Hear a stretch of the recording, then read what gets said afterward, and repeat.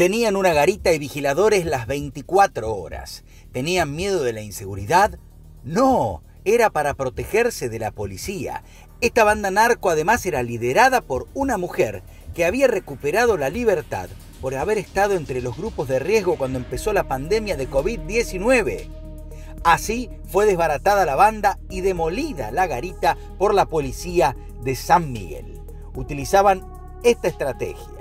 Colocaban la garita a 30 metros del lugar donde vendía la droga y la garita vigilaba si llegaba o no la policía, pero además aceptaba o no a los compradores.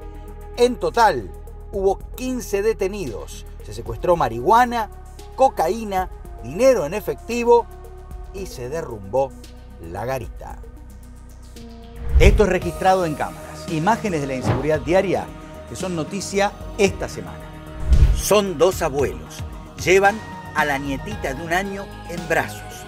Van a casa de sus hijas. Estuvieron toda la tarde cuidando a la nieta mientras la hija trabajaba, pero aparecieron ellos. Un delincuente primero, armado. Después, los dos cómplices.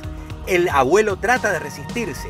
La abuela se da vuelta cuando le apuntan con un arma a su nietita, está arropada y no sabe lo que pasa a su alrededor. Los tres delincuentes quieren robar el auto. Dos de ellos están armados.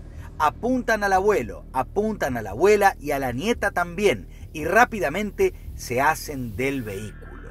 El abuelo, indignado, los persigue y les tira las llaves de su casa y después termina gritando, pidiendo auxilio en un barrio, Lomas del Mirador.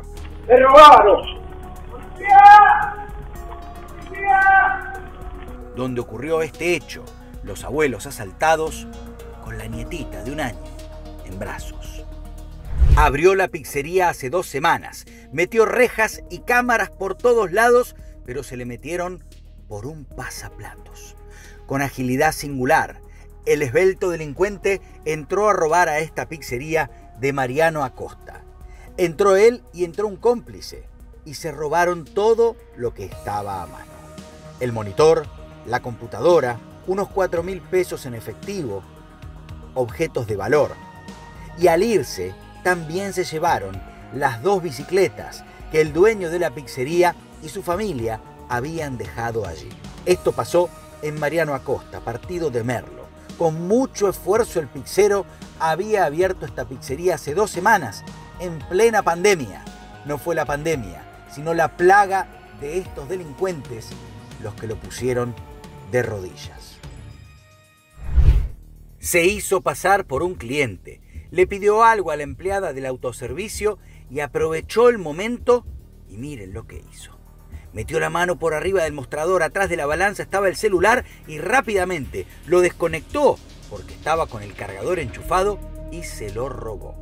Esto pasó en un autoservicio de los hornos, ubicado en 137 y 66. El ladrón quedó registrado en cámaras. La víctima todavía lamenta el robo de su celular, lo más preciado que tenía allí, las fotos de su familia. Se hizo pasar por cliente, distrajo a la empleada y miren con qué rapidez desconectó el teléfono y se lo robó. Lo viste registrado en cámaras. Imágenes de la inseguridad diaria que son noticia esta semana.